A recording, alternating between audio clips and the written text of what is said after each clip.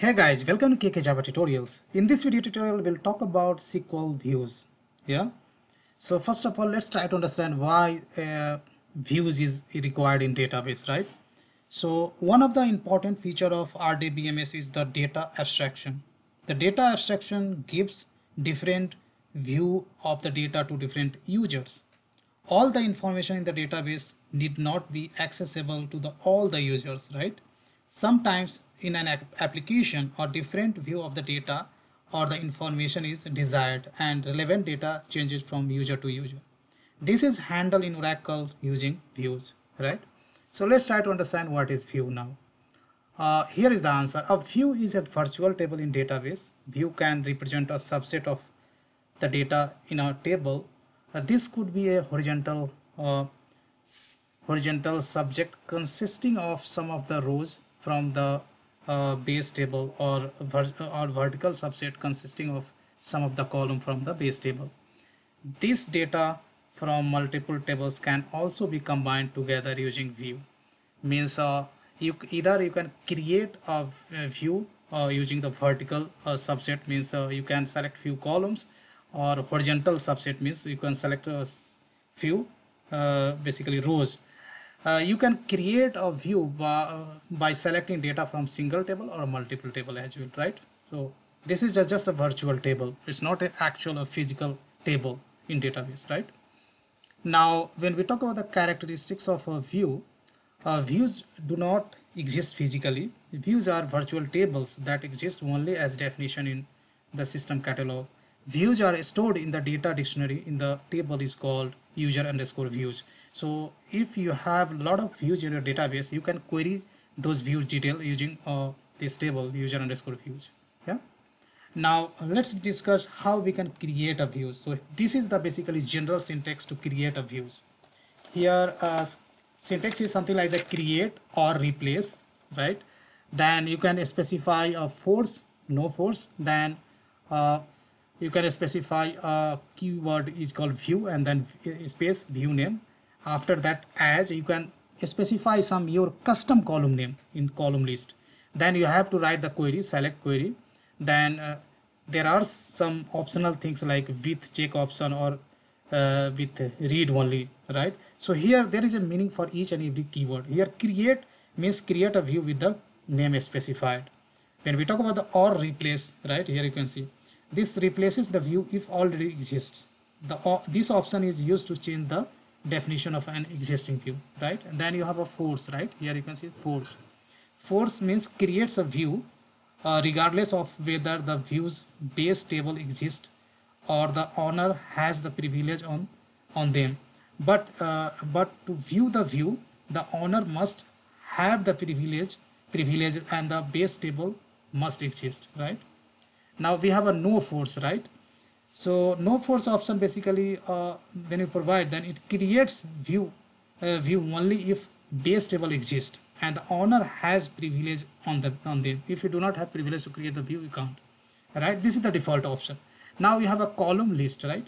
Here column list specifies uh, column names uh, than their original names right? If you do not specify column names then view will be created with the uh, base table column names like a base table column uh, these new column names can be only used while referring the views. So while referring the views, you can uh, basically use uh, these column names if you specify some custom view then, right? So now apart from this, uh, of course, we'll go and explore these things practically, but there are some key points I would like to discuss before going for further uh, practical example.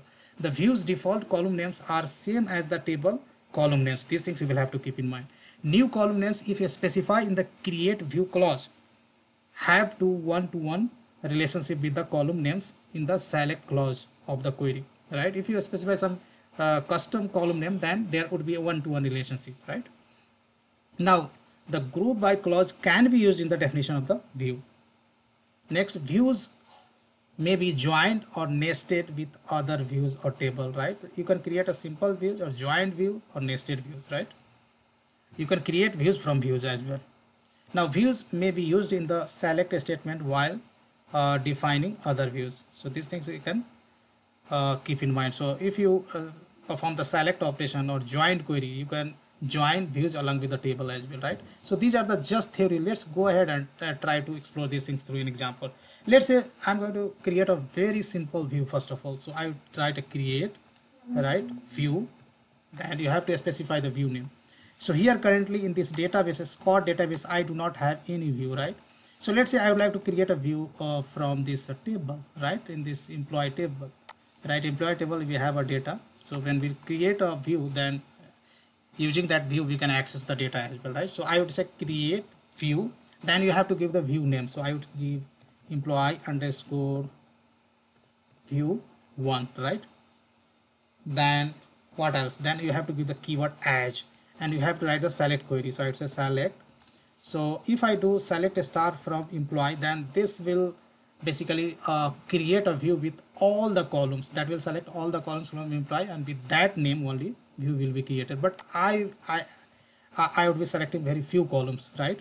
So like ename then I would say uh, ename then I would say salary. I don't want to uh, uh, select. Here EMP number means employee number e name and then let's say hire date right? These are the attributes only I want to select from this table and would like to create the view. So here I want to create the view with this name. I want to select these are the columns from employee table.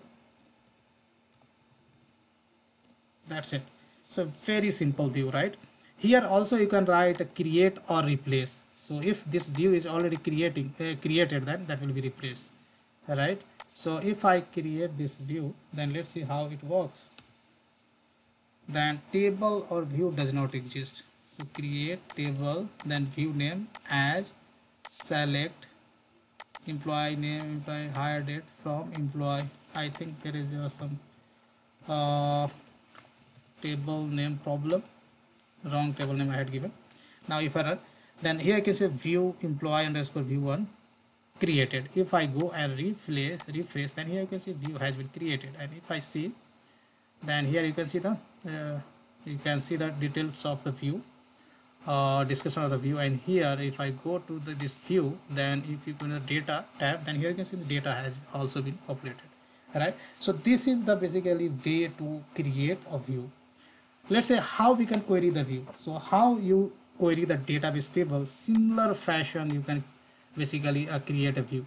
So guys one thing i would like to tell you here view has been created with the here column name you can see. How is the column name in the source table with the same name view has been created. But if you want to create the view with the different column name then here you can see specify the different column name as well so here you will have to write the create view then view name and here you can specify the column name right like uh, employee uh, num employee underscore number right? Then let's say employee underscore name. Then what else? Hire underscore date right? So this is the custom name I have specified. And uh, I would give the view to right? So if I create then now I could give the custom name of the view. So view has been created. If you go and refresh then here you can say if you look into the column name column name has been customized right? So this is the way to customize the column name as well. Now let's move ahead and see how we can query these views. So how you query the basically your database table in similar fashion you can query the view you can write the join you can write the where clause group by everything. So let's say i write very simple query select star from employee v1 and if I query then I get the, all the results from this. Here you can of course you can put the where clause and everything right?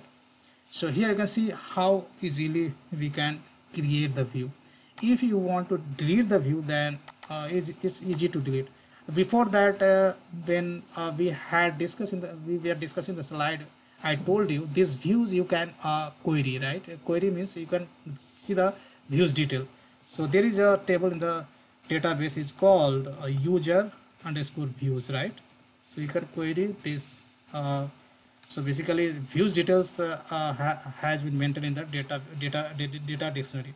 So these details you can see you can see select is e l e c t select star from uh, user underscore view. Here you can see the all the views which is present in your Scott uh, connection it's uh, schema you can see over here right all details.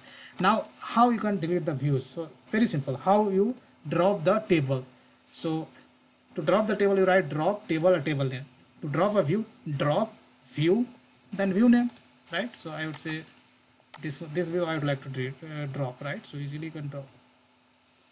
Now here is say, saying that view has been dropped. If i refresh that you will see the employee underscore views one will be dropped. So let me refresh then here you can see employee underscore view one has been gone away right? So these were these were the only basic stuff we have explored in this video tutorial. In next video series we will see all the detail about the views what are the advantages disadvantages and all.